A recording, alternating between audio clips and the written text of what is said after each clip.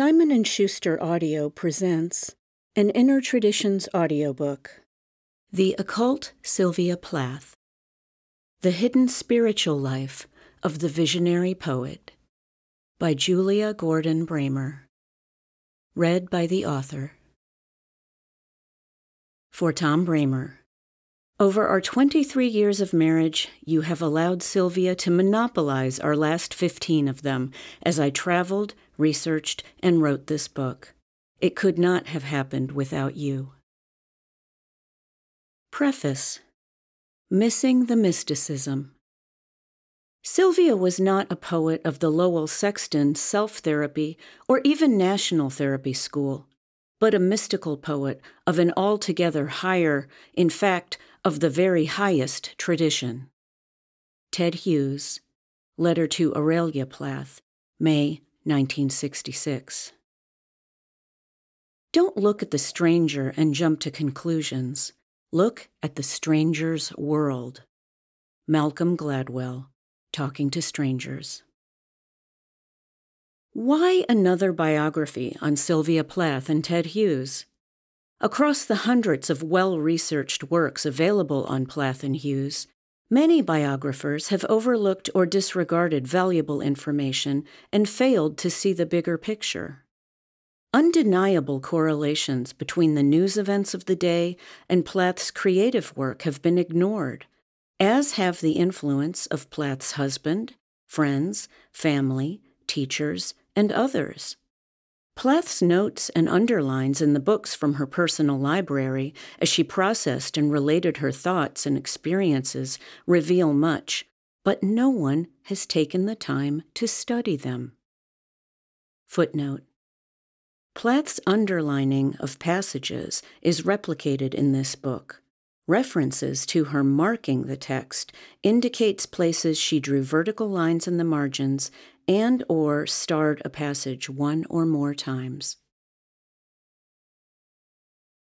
Finally, no one has seriously addressed the rich and deep themes of the occult and mysticism woven throughout both Plath and Hughes's families, their history, and geography.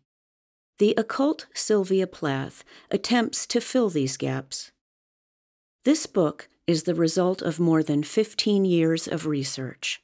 What I had originally written as an introduction to my book Fixed Stars Govern a Life Decoding Sylvia Plath, published in 2014, took on a life of its own to become this book. This work does not attempt to embellish or hyperbolize the dramatic aspects of Plath's life, a la Hollywood. Instead, it is a collection of historical and mystical facts about and around Plath and Hughes, so that their writings and actions may be viewed and understood from new perspectives. Both biographers of Plath and readers familiar with her poetry who have no background in mysticism have glossed over the plethora of Plath's and Hughes's occult endeavors, especially regarding their creative process, and have missed points of significance. This book is a connecting of the dots. For over 50 years, Sylvia Plath's story was controlled and severely restricted by the estates of Sylvia Plath and Ted Hughes. Until recently, editors of Plath's and Hughes's published letters downplayed their interests in the occult.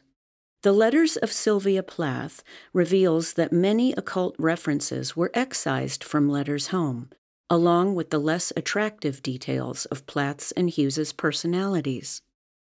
Even many of Plath's better photos were not published, possibly in an effort to cast her as a dowdier, more depressive poet. Footnote For a good explanation of the wars between would be biographers and the Plath and Hughes estates, see Carl Rollyson's American Isis, New York, St. Martin's Press, 2013. Ted Hughes's passion for and use of Hermeticism, shamanism, alchemy, astrology, the Jewish Kabbalah, which evolved into the Hermetic Kabbalah, Kundalini Yoga, meditation, hypnosis, breathing exercises, amulets, Ouija, and the mythical equations structuring and influencing his creative work are widely known. Few have looked at Sylvia Plath's writings in this same light, reading and teaching her only as a voice for her drama. All things are symbols of other things, Plath underlined in Dante's The Divine Comedy. Indeed, singular examples or events alone do not prove a serious passion for the occult or Plath's poems to be more than confessional. Any mysticism recognized in Plath's work is usually raced past, focusing instead on her atheistic views, which, nevertheless, do not negate a spiritual life, or else Hughes is charged with forcing her into mysticism. The facts are Sylvia Plath's remarkable body of writing, family roots, beliefs and non beliefs, and marriage to poet Ted Hughes, along with the people and events around her, build a substantial case for Plath having an intense interest in the supernatural and in being an active practitioner. Sylvia Plath, Ted Hughes, and Hughes's devoted older sister Olwen downplayed their interests in the occult to questioners, calling it a game. Why might they have kept so quiet if the facts were otherwise? Consider that anti witchcraft laws and punishment remained on the books in England until the early 1950s. Sorcery carried a significant stigma in those stuffier, more conservative years of the late 1950s and early 1960s. Plath had the added ignominy of psychiatric hospitalization for a nervous breakdown and electroshock therapy. Indeed, she needed no more fingers pointing and calling her crazy. Widespread knowledge of Plath's and Hughes's activities would have destroyed their careers, and England's future poet laureate probably would not have fared well being linked with the likes of Golden Dawn leader Aleister Crowley, whom the London Times dubbed the wickedest man alive. Hughes's correspondence with biographer Keith Sagar indicates that he was fully aware of Crowley's hypnotic possession techniques and how masterfully Plath used them in her Ariel poems. Back then, any link of Hughes or Plath to the occult would have marred their reputations and affected their young children. Finally, according to Plath's tarot guidebook, The Painted Caravan A Penetration into the Secrets of the Tarot Cards, by Basil Ivan Rakoczy, Practitioners of Kabbalah and other forms of mysticism are often sworn to secrecy. The evidence is that Plath was never apathetic about spiritual life. She challenged the notion of God from all perspectives, was never uninterested in the topic. Occult influences surrounded her from a young age, with many role models and mentors coaxing her along. Through the first six of her almost seven year marriage to Hughes, Plath worshipped her husband and hung on his practices, exercises, and direction, using spirit for creativity, even if she was in a personal limbo around faith. Wholly absorbed in the occult and mysticism, Hughes appears to have taught Plath everything he knew.